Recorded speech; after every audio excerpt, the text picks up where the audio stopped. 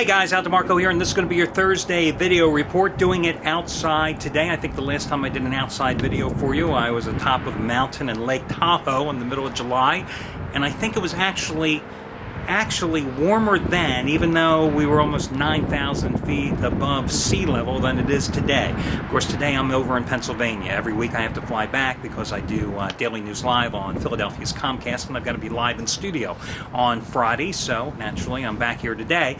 And I mean, believe it or not, this is actually a beautiful day for the Pennsylvania area where the temperature is going to be an unseasonably warm 60 degrees. And today, truth be told, back in Vegas, it's actually not as nice. Uh, I looked at the uh, forecast, it says it's going to be 60 degrees and very windy. The difference being a couple of days from now, as soon as this weekend, you know, it's going to be back to the normal highs here in Pennsylvania. Highs probably about 52, 53 on average. And at night, you know, it freezes. You freeze your ass off. We're opposed to Las Vegas, where by next Tuesday it'll be a nice, balmy 72 degrees again. Normal highs this time of year on the high 60s, low 70s. But of course, you know, Vegas does have its downside. You know, I personally love the dry heat. I mean, you know, send me to Vegas, send me to Phoenix in the middle of uh, summer. I'm, I'm all for it. And truth be told, you know, really from March until really this time of year, the weather is beautiful out there. But it does get cold in Vegas. You're surrounded by mountains. People don't realize that. It gets chilly. You know, you've got to be wearing a coat throughout the month of December and January. But of course, the payback is that you have those beautiful months the rest of the year. Uh, enough of the weather dissertation. Uh, today, of course, being Veterans Day. Um, it's unfortunate, you know, it's another one of those holidays that people, this day and age in our society, people forget what its true intent is to honor those that served in our armed forces defending this country of ours.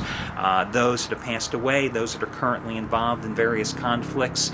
You know, instead, so many people look at Veterans Day as a great day to save 20% shopping at Macy's or, you know, they're inconvenienced because they can't run to the bank because it's closed or over to the post office to buy a book of stamps because it's closed. They forget the true intention of this day and what it was created for. And that really is sad, and it's just a statement and a commentary on our society. I know myself, you know, I didn't serve in the armed forces. My father did. Uh, lied about his age, like so many men did back in that day, uh, to join the Marines.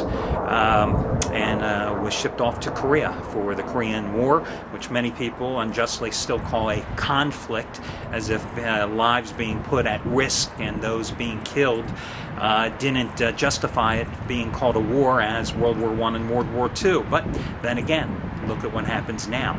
You know, the Gulf War skirmishes and war back in the 90s, our current military escapades over in Afghanistan and Iraq. You know, people just kind of go on with their everyday life and they they forget about it, and that is very very unfortunate.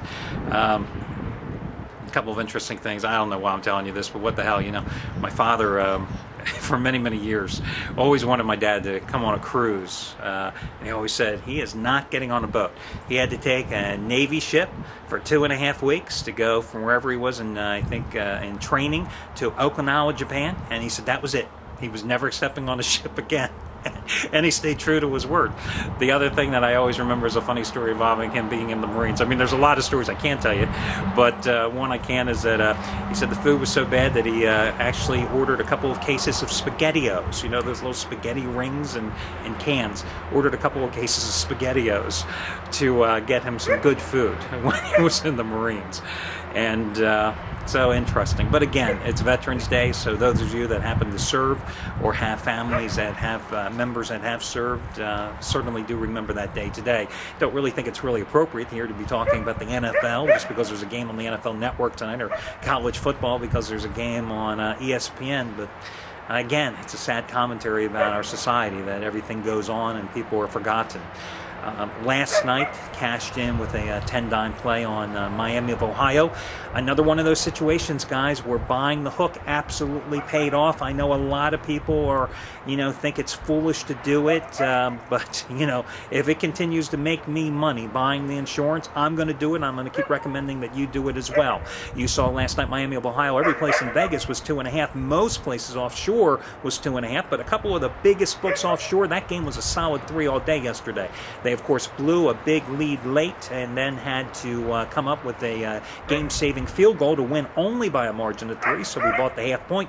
We got the win. And again, I'll say this again for you. Is there any difference losing when you're buying off a three, losing at a dollar ten or losing at a dollar thirty? Sure, the difference is 20 cents on the dollar. It's $20 on every $100. Let me ask you this.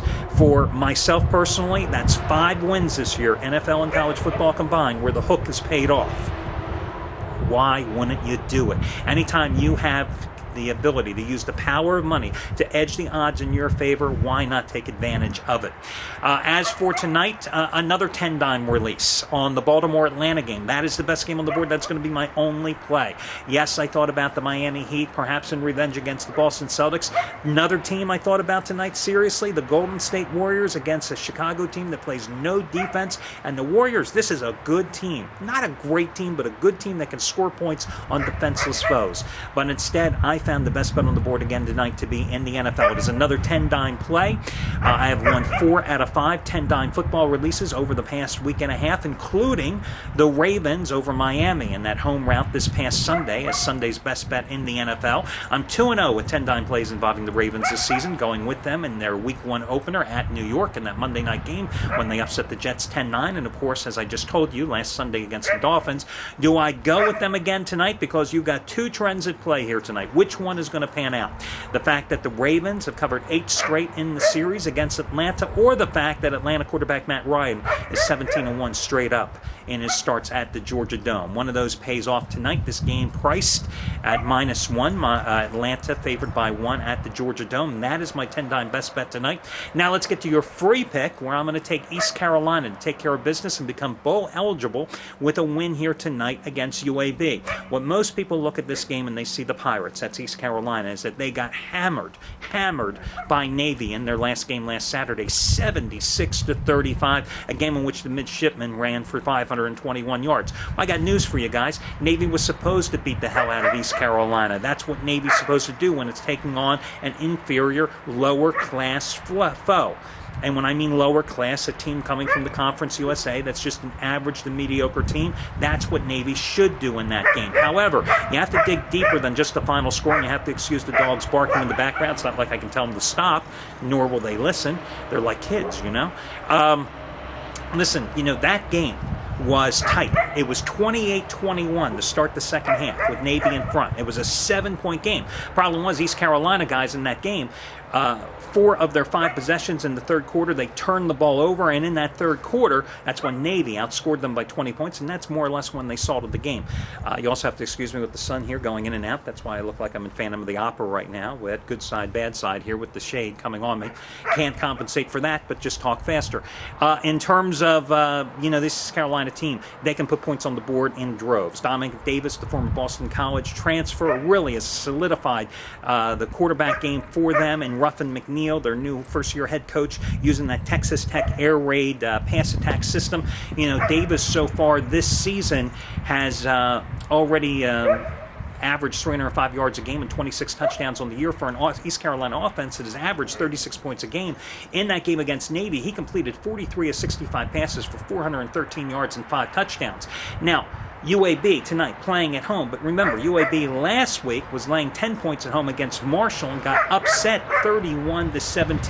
That's the same Marshall team that East Carolina beat easily in Greenville by 27 points earlier this year, 37-10. You look at another couple of other common foes for these two teams. Both of them won at Southern Mississippi. Uh, East Carolina coming back from a big, big deficit to win by one point, and uh, so did. Um, UAB winning by one point as well, both in high scoring games. You look at the UC, US, USC. Central Florida game, UCF game that both of these two played. You know, where East Carolina at least gave Central Florida a run for their money, losing 49 35. UAB was crushed on the road as well by the Knights 42 7. I think that these two teams are going in different directions. As I said, East Carolina gets a win tonight. They are bowl eligible. I'm going to go with East Carolina tonight. That is going to be your free selection. And again, the best bet on the board, the 10 dimer on your game between Baltimore and Atlanta. Good luck, everybody, and I'll catch you again again tomorrow.